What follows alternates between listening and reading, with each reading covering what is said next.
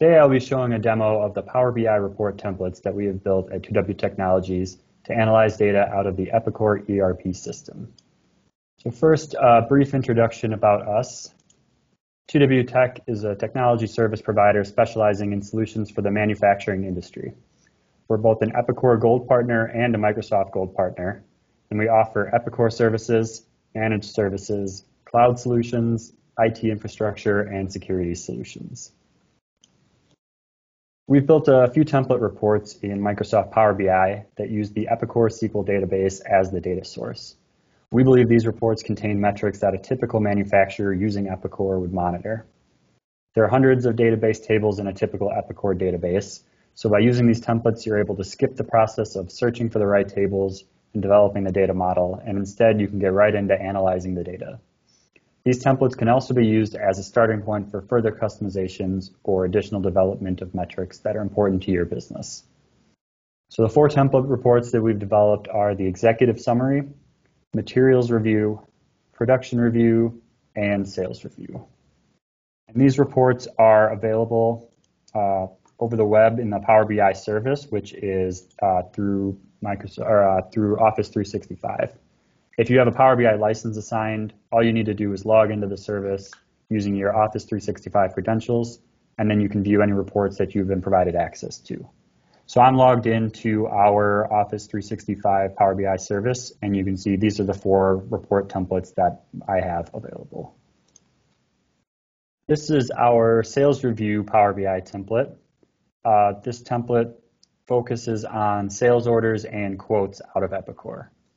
So the first tab here, the sales analysis tab, provides a summary view of all of the orders and the dollar amounts in a selected time frame. So across the top, you can see your total sales and your total sales orders. Uh, below that, you can see some of the trending information. So you can see both a month over month and a year over year trend of sales dollars. Uh, below that, you can see who your top customers are uh, in terms of total sales amount. And then you can see how your sales break down into different customer territories. Now these ch uh, charts all are fully interactive and are tied together. Uh, so if I make a selection in one chart, you can see how it will update the rest of the charts. For example, if I want to check out this top customer we have here, I can simply click on the bar and you can see all of my charts have now updated and now I'm looking at just the trends and just the territory, just the sales for this particular customer. And then I can click off their name to get back to the default view. Uh, I can also drill down in charts so for example, in this donut chart here, uh, I can drill down into a specific territory and see the breakdown of all of the different sales reps. So uh, to do that, I can just click on the segment here and click drill down. And now I can see the breakdown and who the top sales reps are in that territory. Again, you can see by making that selection, it drilled down into all the rest of the charts, and now all of these charts are focused on just uh, sales for the US Midwest territory. So I can drill back out of that. The other option that we give in terms of selections is picking a particular date range. Uh, so for example, maybe I want to only focus on 2020 data. So in this uh, ship date selector, I can just search for the beginning of 2020.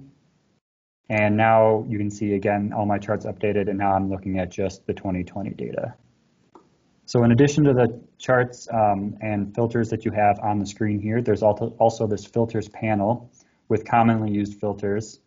Uh, so for example, if I want to look at just a particular state, I can drop down that filter and I can search for a particular state, select that, and now you can see I'm fully, or uh, continuing to kind of drill down and slice and dice into this data. Now I'm looking at just Wisconsin data uh, for 2020.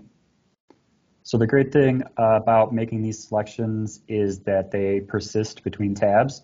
So if I want to get from sort of this summary view into a more detailed view, I can jump over to this order details tab and you'll see my ship date has remained the same and my state selection has remained the same. And now I'm looking at all of the individual orders that meet that criteria. Uh, so I can see the order number, line release. I can see some information about the order, like the part, who the sales rep was, the total sales, their customer group, etc. Uh, so you can get all the way down to the individual detailed information. From here, I can actually export this data to Excel. So I can click on these three ellipses and I can choose export data. And now I have options to export either to a .xlsx file or to a .csv. To get back to the full selection, uh, I can just click on this reset filters, and now I get back to the, the full view. And if I want to kind of further manipulate this table, I can change my sort orders. So maybe I want to sort on, you know, the highest dollar amount uh, orders, or maybe I want to sort uh, by particular part numbers. So I can click on it once to sort ascending, click on it again to sort descending. So I'm going to jump over to the next tab here, quote analysis. So this tab focuses on quotes out of Epicor. Uh, it tracks both the number of quotes and the amount on the quote, as well as it ties to sales orders so you can see which of these quotes actually turned into orders.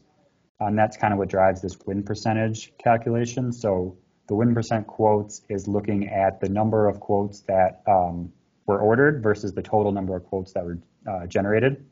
And the win percent dollars looks at the dollar amount of the quotes that were ordered versus the total dollar amount. So it kind of gives you a couple different frames of reference in terms of your win percentage. Within this chart down here, then you can see how uh, the quotes break down by both production group or sales rep. And you can see how your win percentage is looking compared to your goal. So in this case, the goal is 30%. So you can see of your top production groups, which ones had uh, win percentages that were above your goal. The same way with the sales rep.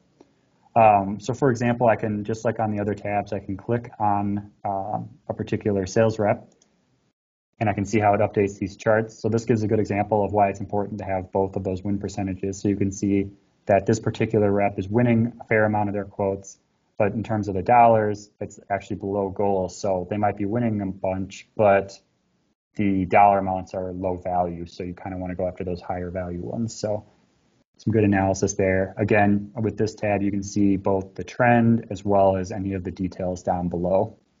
The last tab here is this customer map. Uh, so this provides some great location-based analytics. Uh, so what it does is it takes all of the customer addresses and it plots them as a point on the map and it sizes each point based on the number of sales. So the larger the point, the higher the value of sales for that customer.